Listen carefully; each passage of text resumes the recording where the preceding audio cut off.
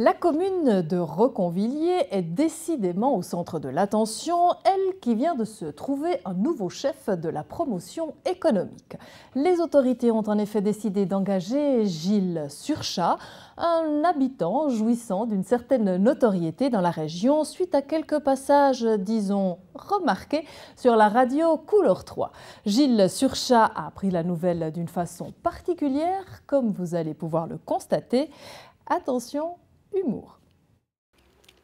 Gilles Surchat est furieux.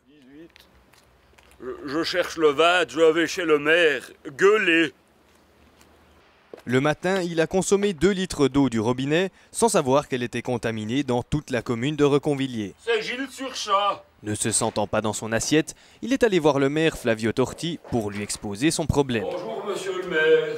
Bonjour Gilles. Je, je peux rentrer? Rentrer, bonjour.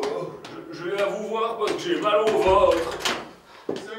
On va au salon, on, On va au on- salon. on sera mieux. Euh, bah, ce matin, j'ai voulu boire 2 litres d'eau parce que j'avais très soif. Parce que hier, j'étais au fun bar avec un ami euh, qui n'a pas le droit d'être en Suisse. Et on a mangé trop de cacahuètes, alors j'avais soif. Et puis j'ai bu 2 litres d'eau. Elle, elle était une drôle de couleur, l'eau. Maintenant, j'ai mal au ventre et j'ai tout le temps envie de vo- vomir.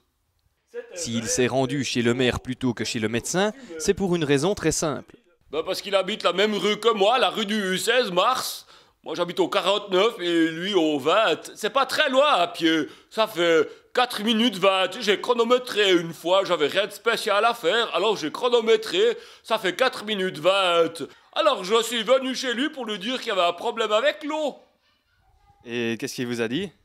Il m'a dit qu'il n'y avait pas de problème avec l'eau. Gilles Surchat étant rassuré, le maire en profite pour lui faire une proposition alléchante. Mais par contre, on cherche quelqu'un pour faire la promotion de notre village. On en a bien besoin. Et on a pensé à vous. Ah bon pour faire la... Une demande surprenante pour Gilles Surchat qui accepte évidemment la proposition. Pour le maire de Reconvilliers, Gilles Surchat présente toutes les qualités nécessaires pour ce poste. Voilà, vous m'envoyez mon contrat par la poste. Il y avait 88 candidats pour cette, euh, cette place. Et puis euh, finalement, après, ayant euh, vraiment bien pouillé tous les dossiers, si vous me passez l'expression, eh il s'est avéré que c'est lui qui avait les meilleures cartes en main, euh, la meilleure connaissance du terrain, et puis surtout avec euh, tout, tout- son réseau suite à Schafter-Piv qui a été connu dans, dans l'Europe entière, voire dans le monde, puisque des pives ont été exportées jusqu'au Japon. On s'est dit qu'on pouvait tirer parti de ces différentes qualités pour l'em- l'embaucher, on en est très fiers. Licencié par l'entreprise Schafter-Piv après deux semaines de bons et loyaux services, Gilles Surchat est heureux d'avoir à nouveau un travail. Il émet toutefois quelques doutes. J'ai pas fait l'apprentissage de promotion économique, mais je, pense que c'est juste envoyer des emails. Faudra que j'apprenne. Je sais pas faire les emails. Ah, il y a un tracteur. J'aime bien dire bonjour au tracteur.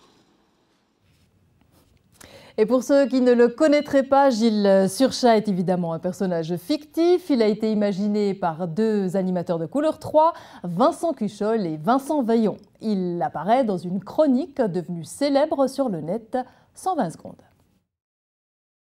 On en parle avec vous ce matin, Sébastien Jacquet. Bonjour.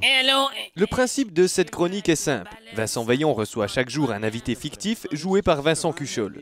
Lorsque les deux compères ont décidé de filmer et de diffuser leurs sketchs sur le net, le succès fut immédiat. Parmi les personnages campés par Vincent Cuchol, Gilles Surchat, habitant de Reconvilliers, est devenu rapidement l'un des plus connus. Pourtant, cet individu a été imaginé un peu par hasard. C'est un, un matin, euh, un mercredi, puisque le mercredi on produit les épisodes du jeudi et du vendredi, et Vincent euh, et moi on discute de ce qu'on allait pouvoir faire le lendemain. Et il arrive avec les lunettes, il me dit Hey, regarde ces lunettes Elles sont super parce qu'elles sont un peu originales, mais elles ont un défaut. On ne peut pas lire avec, et donc euh, je peux pas tricher. Alors, Euh, je en général, je triche, il faut juste dire ça. C'est vrai oui. que j'ai des feuilles de triche, j'ai des textes, d'ailleurs, des fois on voit que je lis. Et Enfin, alors, trop. du coup, je lui dis, mais alors, fais un personnage qui parle pas, qui est, qui est timide, euh, parle peu, qui ouais. parle peu, qui a pas beaucoup de texte. Il dit, ok.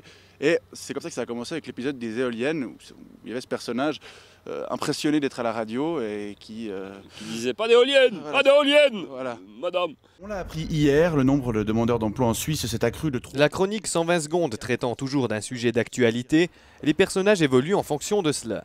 C'est ainsi que Gilles Surchat, originaire de Bourignon, une commune jurassienne, atterrit dans le Jura bernois.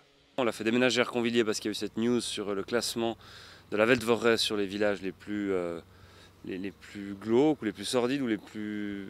C'était glauque, c'était très bien. C'était un truc un peu comme ça. Et donc on s'est dit, il faut qu'on traite de ce sujet-là. Il y a ce personnage que j'ai fait une fois qu'on a trouvé chouette, faisons-le déménager à Reconvilliers. Le maire de Reconvilliers a beaucoup apprécié la rencontre avec Gilles Surchat et ses créateurs.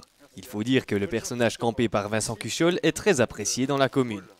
Alors on en parle beaucoup de Gilles Surchat, et ce qui est bien c'est qu'on en parle d'intergénération les jeunes, les moins jeunes. Et puis, euh, c'est positif parce qu'automatiquement, euh, tant qu'on parle de nous, c'est que l'on est existant. On parle de Recronvilliers, on parle de la vallée. Et puis, on est fier de faire partie de la, grande équipe des personnages euh, de Couleur 3. Vu la popularité de Gilles Surchat, il y a de fortes chances pour que les deux compères de Couleur 3 le fassent réapparaître régulièrement dans leurs chroniques.